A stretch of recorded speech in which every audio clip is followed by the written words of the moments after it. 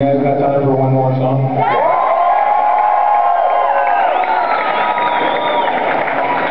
All right, you gotta be quiet, okay?